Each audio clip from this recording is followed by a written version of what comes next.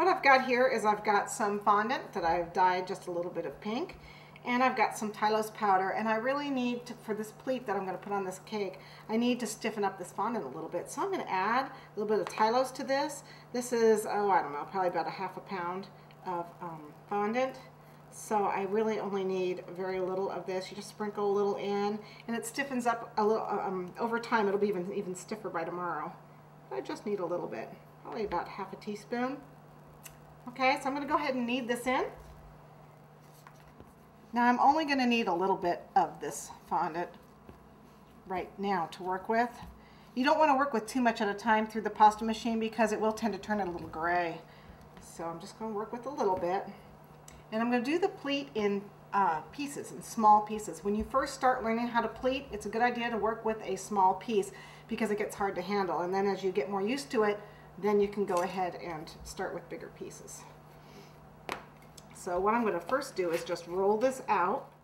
And I'm going to start with the widest setting on my pasta machine here. An electric one would be a lifesaver, but I don't have an electric one. So I to make sure it's not sticky. And you want to make sure actually that you have kind of an even, an even end right here. Because when you put this in, it comes out better if it's even. Doesn't go veering off to the side. Okay, and all I'm doing is just just hold it up here.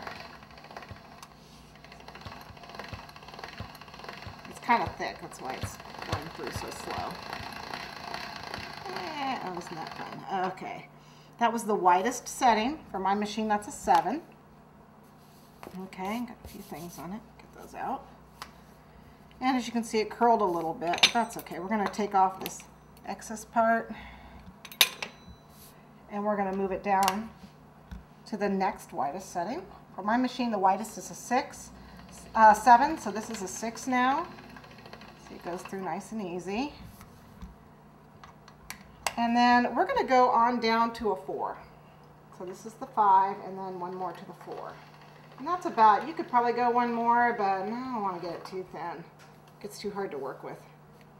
So down to 4. I'm going to cut this straight again easier to work with.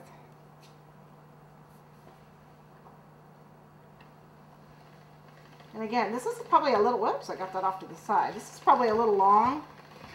Yeah, I got that one off to the side, didn't I? Ah, that's okay. Got a little bit of gray in it. I'm just going to do a really short piece. To show you as a beginner, you should be working with a nice short piece. Okay? Now what you want to do is you want to get a nice straight bottom. So I'm going to go ahead and just cut that nice and straight as best I can with my pizza cutter. Doesn't have to be perfect. And then what I want to do is I want to flip it over. I want the sticky side. And then I'm going to take my stencil. This stencil really doesn't matter what your stencil actually looks like because I'm going to be folding this up and you're not going to see the pattern. So any stencil will do. And then I'm going to go ahead and take my makeup brush or any kind of a brush you've got. And this is the Orchid Pink Luster Dust. Holding the stencil down, I'm going to go ahead and go over this with the stencil. The brush on the stencil. Make sure you get all of it. Okay, so I did that. Now when I lift this up, you'll see the pattern. And then as you can see, I didn't make it all the way to the end, so I can just take my stencil and place it right back down here where I didn't get and continue on. It's getting kind of low. Okay. See?